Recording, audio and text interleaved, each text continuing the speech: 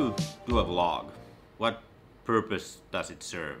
As a CEO, as an entrepreneur, as a founder, you literally will have a million things to do. So why on earth would you vlog? That's a question I had to ask myself. And maybe you saw, I did put out my first vlog. I did all myself. Uh, I've been postponing it for a long time. I've been wanting to do it for a long time. I've been fearful. I've, I've felt embarrassed. Who am I to vlog anything? Uh, everything is so boring. I have a stupid accent. My business is not, not that tremendous. Who am I to vlog? But I did get around it. I did publish the vlog. I did put it on YouTube. And I must say, it was a lot more therapeutic than I would have ever imagined. Just the fact of taking those minutes, and I'm talking minutes, not hours, during the day, to reflect and speak out loud, even just like during this moment on reflecting why to vlog, is is so therapeutic. Having those few minutes on every day last week, being able to reflect and document was was big, was huge. That alone, I think, is worth vlogging if you're thinking about it. Uh, is this gonna make me rich and famous? In all honesty, I, I plan to do so. That's that's a that is the goal behind this. I'm not. I didn't start doing this for uh, note-taking or journaling reasons, uh, although that that is a very positive side effect. So I, I do feel now very proud and happy, surprisingly so, that I was able to execute a vlog. And even that just one vlog, even if this video never gets published, I, I'm, I'm satisfied, I'm happy, I got over my fear, I did put it out, it was great reflection. But yeah, I do have big plans for this vlog big dreams. Is that stupid? I don't know, maybe. But I also do feel now calmer. I, I do understand that there might be like seven people who see this vlog. But if I keep doing this on regular basis, I'm, I'm certain that it can have a positive effect on my business. Having this sort of human connection through a vlog, leaders who can capture on this format will reap benefits. So we'll give it a go. It's not OKR listed activity for us yet. This is not scripted. But yeah, this week's vlog's topic is the vlog. So welcome, let's go. So it's Sunday, Mile is with her mother. I rode my bike to the gym, got a solid good Sunday workout done, came to the office, uh, did some Norders content creation, shot few videos. We're doing a shorter Norders operating system demo, so shot a clip for that. Now I plan to do the editing for it before riding my bike back home. Hopefully I'll be done in, in 30 to 45 minutes, so I get to spend some Emilia time before going to bed. And then I did a what is Norders kind of blog video, longer talking head video for next week that I think I'll be able to edit tomorrow morning. Now, few few moments to get some editing done.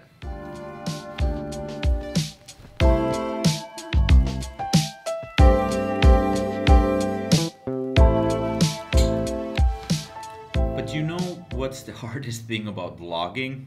It's vlogging.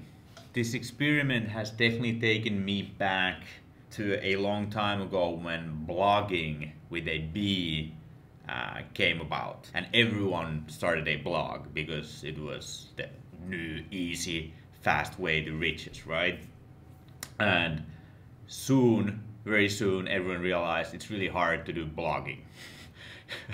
Uh, because you need to be consistent you need to be disciplined you need to have focus. I think it's just when you are being pulled to million different directions or not even million just like five it's hard to prioritize these things that don't showcase value like right now. By now, what I've noticed is that for me, the most important thing that creates happiness for me is simply doing the things that I set myself to do. I'm having a much better of a day and me going to sleep is going to be a happier going to sleep once I did this simply because I I did tell myself I'm going to do it. It's not very quality oriented. One of my personal development heroes, Cal Newport, he talks about quality over quantity. But for me, that's sort of what I really disagree with. I think quality follows quantity. If I keep doing vlogs, if I every day keep going to the gym, if I every day keep writing blogs, my human brain will want to figure out a way to make them better. What I'm 100% sure about is that if I just keep watching vlogs, keep planning vlogs, keep buying and downloading, note taking softwares or Notion templates about vlogs, my vlogs will never get better. It might take a long ass time and these vlogs will be shitty forever, but what I've learned about myself thus far is that that matters less than the pain of regret of not even trying. You know, that's a beautiful thing that I can get happiness from the journey. I'm a better person when I do the things I promised myself I would do. And when I'm a better person, I'm more qualified to help this business and people around me and the community around me to perform at, the, at their best as well.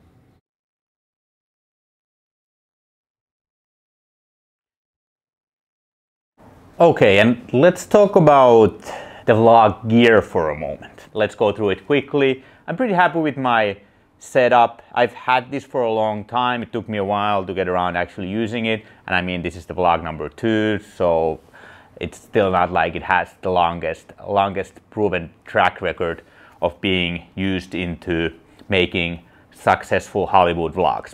So this is actually being filmed with the Sony a7C. I'm using normally my Sony ZV-1 for my vlogging, but now since I wanted to show this camera, I did this part with the Sony A7C. We actually originally got the Sony ZV-1 for Ronnie, our co-founder, but then he got some Blackmagic heavy hitters. So this was idle for a moment and then I grabbed it. I've been playing around with it. I think I started first taking like some uh, gym selfies and family pictures with this. And it's, it's pretty sweet. It's, it's as, as you can see, super mobile, uh, easy to carry around. It has this sort of selfie mode, so it's easy to do vlogging with it. Now I have my Rode Wireless Go 2 microphone so I can show my Rode VideoMic Pro microphone that I then have used for my other vlog purposes. So if you're looking for an accessible, solid setup for doing video, either talking head videos like this or vlogging or just shooting around the office or, or at the gym, I can, I can recommend this setup. Maybe my favorite part of this vlogging setup is actually my little Peak Design bag that can then hold all of this stuff and goes into my Peak Design travel bag. So I think that's sort of my favorite gear geek part of this whole vlogging.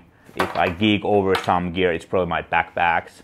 Maybe one day I'll do a backpack video, never know. This goes nicely neatly in here, fits well and goes, goes with me. And then I can go back to vlogging with this wherever I am. So that's it, there you go.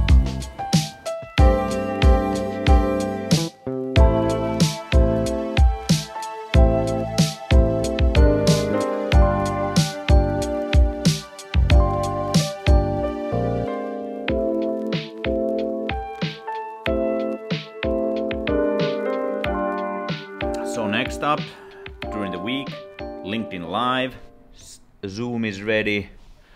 I am ready. No, no attendees for this LinkedIn Live. I'm pushing through. Gonna have this one. Gonna talk about silos between marketing and sales. I think it's a great exercise for me to prepare myself to discuss about these somehow new focus topics for for Norders as a revenue RevOps agency. Yeah, you don't go to the final game without doing the work first. All right, that's it. Tuesday done. Had a good board meeting. Uh, very good actually. Love those guys. Gotta say, good momentum, good pushing forward. Once again, taken, slightly surprised, but even more taken about the fact how how positive, supportive everyone was. I'm so grateful and lucky. We have some big shooters on our board, and then they actually take the time and listen to my stories, me complaining about my small business problems. But yeah, man, grateful, really, really, really, really, I think grateful to have those guys uh, being supportive for us right now. We're gonna make this work. We're gonna kick some ass. You see, we're gonna be the kings of revenue. Let's go. First, home, dinner, Emilia time.